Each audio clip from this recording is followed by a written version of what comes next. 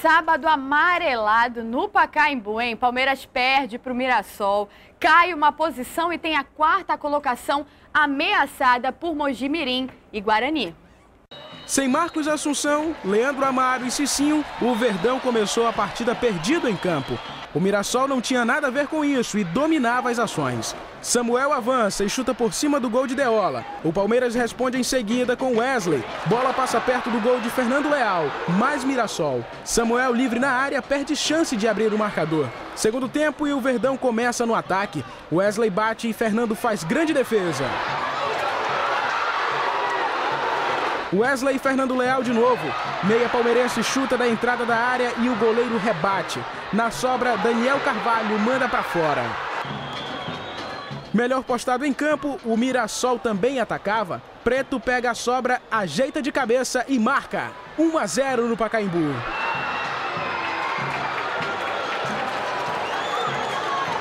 Maicon Leite ainda tentou, mas o Verdão amarelou, perdendo a terceira colocação e começa a cair no Paulistão. Para Felipão, a derrota foi justa. É, bem posicionado, bem organizado, é, sabendo que, que tinha um espaço para jogar, trabalhar a bola e fazer com que a nossa equipe se projetasse, cedesse os espaços do contra-ataque, bem bem desenhado, bem feito. É, Felipão, mas não dá tempo de lamentar, porque quarta-feira já tem Copa do Brasil. Então tem que ter qualidade para fazer isso. Nós não tivemos oh. qualidade para eliminar o primeiro jogo lá em Cururipe. Se não tivermos com, com o Horizonte, que ainda é bem melhor que o Cururipe, não sei, vamos ver. Temos que jogar bem melhor.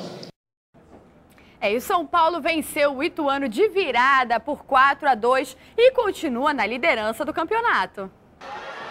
A arrancada do Ituano no início mostrava como a partida ia ser difícil. E isso ficou comprovado depois da falta batida por Anderson Salles. 1 a 0 para o time da casa.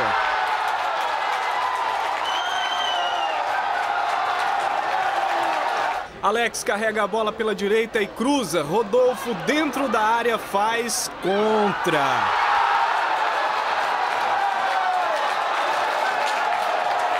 No começo da segunda etapa, quase o terceiro do Ituano. Mas de repente o que estava preto ficou claro para os tricolores. Jadson cobra escanteio e dessa vez a favor, Rodolfo marca. O zagueiro de cabeça deixa tudo igual no Novelli Júnior. Jadson para Rodolfo, o zagueiro de cabeça deixa tudo igual no Novelli Júnior.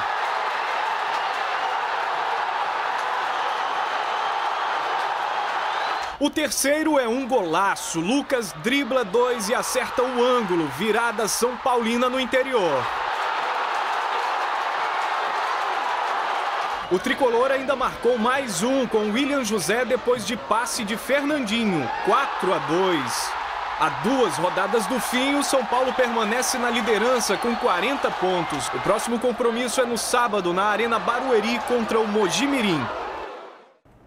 Com gols dos garotos Rafael Caldeira e Dimba, o Santos venceu a Portuguesa por 2 a 0 no Canindé e pulou para a terceira colocação no Paulistão com 36 pontos. Agora, o time da Vila se prepara para a partida desta quarta em Porto Alegre contra o Internacional pela Libertadores, todo mundo quer ver, né? E o Corinthians venceu o Oeste em Presidente Prudente e depois do jejum de Liedson foi para o jogo com fome de gol e fez dois.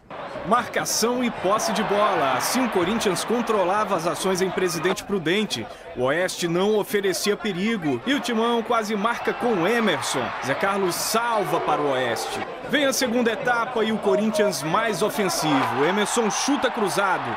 Liedson desvia e marca. Fim do jejum de 13 jogos sem gol. Liedson estava inspirado, ele faz boa jogada e toca para o William ampliar para o Alvinegro.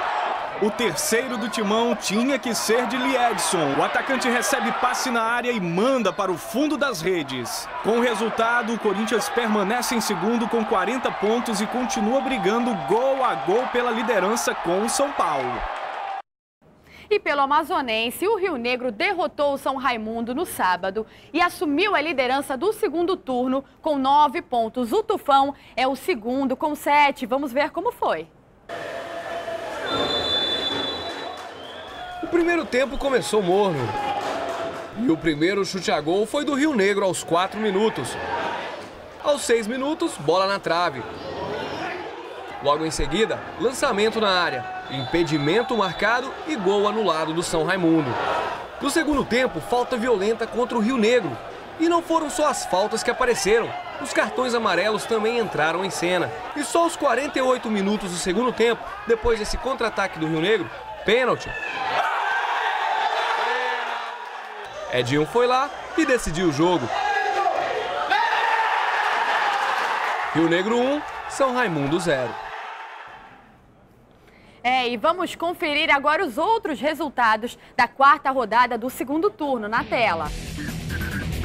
Pela Taça Cidade de Manaus, a quarta rodada, o CDC fez 2 a 1 em cima do Holanda.